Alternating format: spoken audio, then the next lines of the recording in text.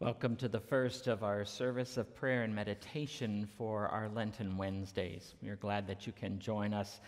We pray that this will be a time of worship that is woven with moments of silence and scripture and song. You're invited to be still in the presence of God as the Holy Spirit opens your heart to receive the word. The grace of our Lord Jesus Christ, the love of God, and the communion of the Holy Spirit be with you all. Let us pray. Lord, it is night after a long day. What has been done has been done. What has not been done has not been done. Let it be. The night is for stillness. Be present with us now, we pray. Turn our hearts to trust toward you and in love toward one another. Through Jesus Christ, now and forever. Amen.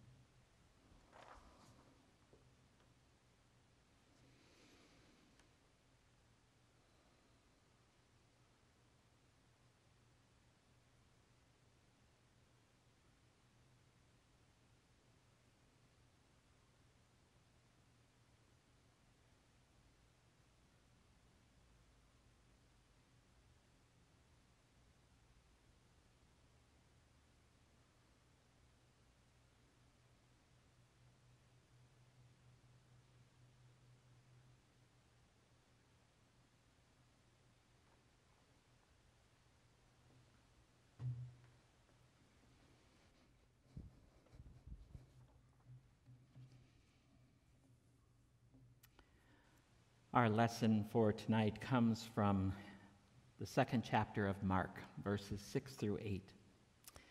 Now, some of the scribes were sitting there, questioning in their hearts, Why does this fellow speak in this way? It is blasphemy. Who can forgive sins but God alone? At once Jesus perceived in his spirit that they were discussing these questions among themselves, and he said to them, why do you raise such questions in your heart? The Gospel of the Lord. Grace and peace to you from our Lord and Savior Jesus the Christ. Amen. If you would think back with me to about last February of 2020, and our theme for what our uh, Lenten services was was pause. Boy, did we put a pause to 2020. So that is why this year, our theme for our Lenten Wednesdays is a story to tell. We have a story to tell, and in so many different ways. So, in this first one, it's like beyond being nice. A story to tell about beyond being nice. So when I think of being nice, I hear conversations in my head like, Do you know so and so? Isn't she such a nice person? Or nice usually describes a person who's pleasant, agreeable, or kind. Someone who doesn't rock the boat, always fun to be around, and who has a good disposition.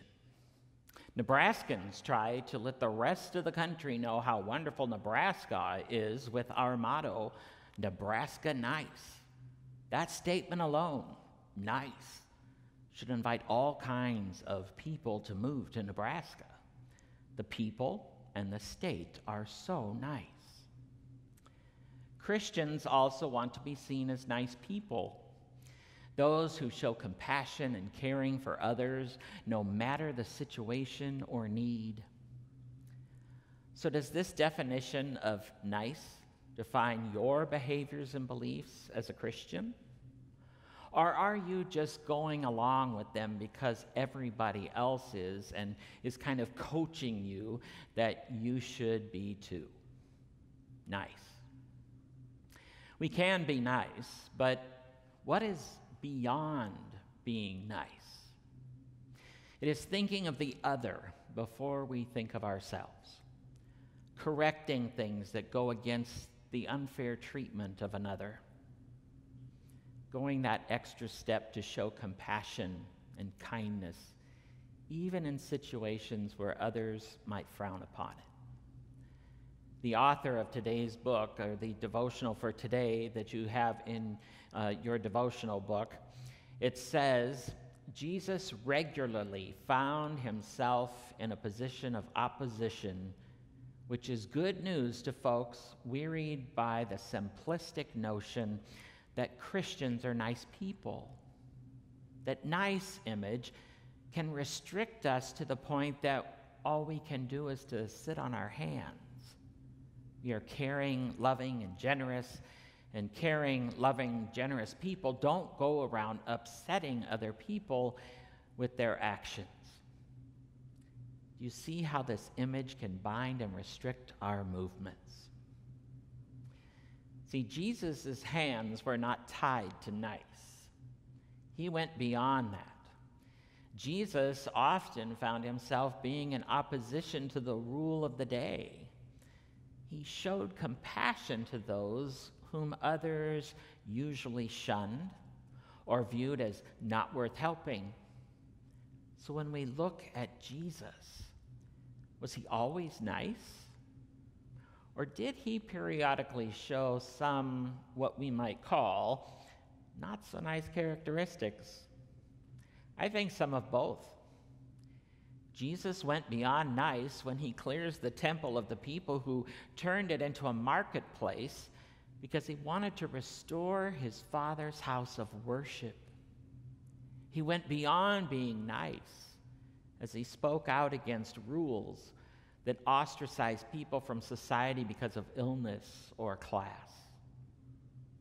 We too, then, go beyond being nice when we speak out about injustice or inaction.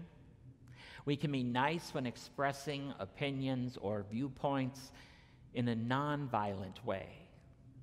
But we are also called to speak up for those who may not be able to speak for themselves. We follow Christ, who had no difficulty showing compassion even when others found it offensive, loving all people despite the way that agitated others, being bold and humble all at once. See, we all have a story to tell during the season of Lent. We encourage you to share that story Share the story of Jesus' ability to show compassion, forgiveness, and then go beyond being nice to love all people no matter where they are from, and to speak out for those who cannot speak for themselves. Go beyond just being nice. Let's focus on that for this first week of Lent. Let us help each other grow in our faith as we find ways to go beyond being nice and show God's love and compassion to others. Amen.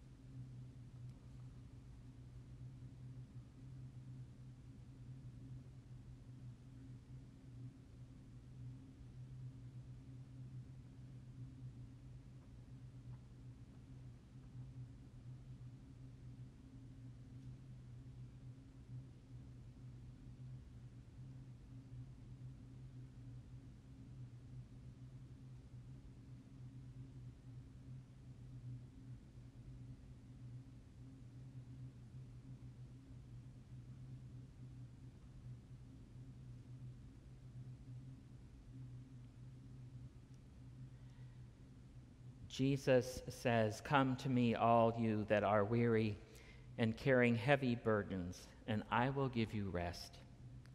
Come, you who feel far from God's embrace, unsure of God's love. Come from behind the walls that surround you, hostility that consumes, fear that entombs, and pride that divides. At the cross, Christ Jesus gathers all things to himself ending our divisions, becoming our peace, and granting us God's abundant life.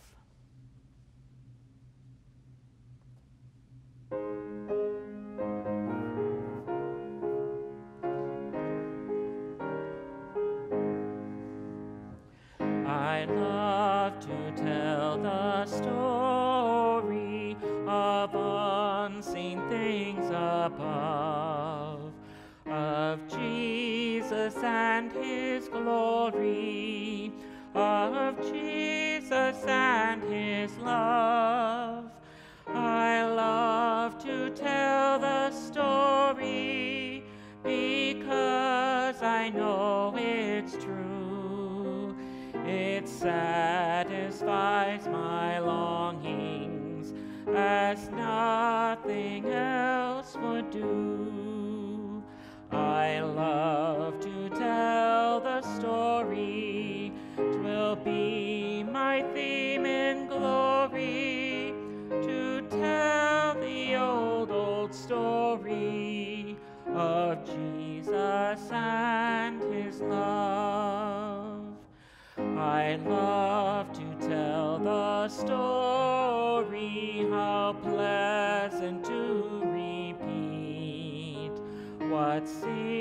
each time I tell it more wonderfully sweet.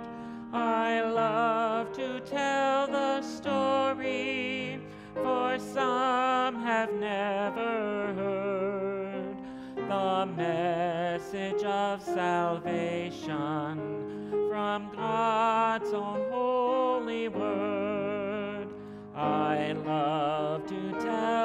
story. Twill be my theme in glory to tell the old, old story of Jesus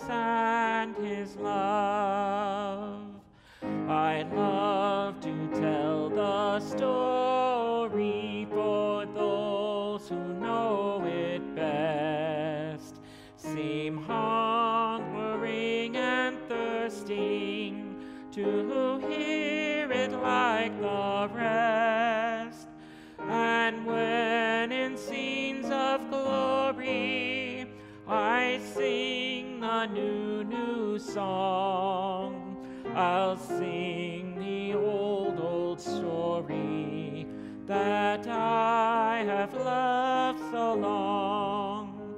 I love to tell the story, twill be my theme in glory to tell the old, old story of Jesus and his love.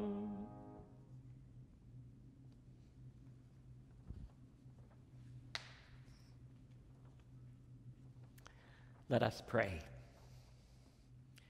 You are gracious and merciful, O God, slow to anger and abounding in steadfast love.